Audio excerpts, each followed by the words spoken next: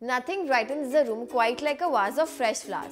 Whether you've received a bouquet of gorgeous flowers or you've plucked them from your garden, use these tips to make your cut flowers last a little bit longer.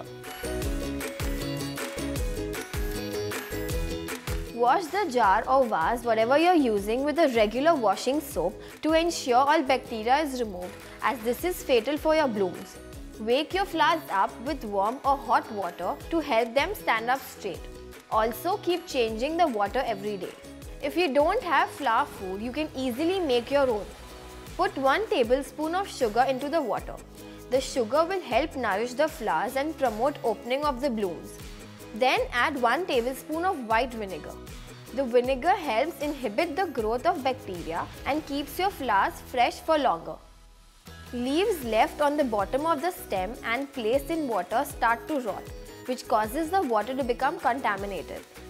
Before you put the flower in the jar, cut off the leaves that are below the water level. Cut the stems at a 45 degree angle to help the flowers absorb water and nutrients. Keep trimming them daily when you change the water in the vase. Display your flowers in a cool area. Avoid direct sunlight which causes the flowers to die more quickly. If you and your blooms are looking for a long-term relationship, then do give these tips a try. Until next time, stay tuned and stay glamorous.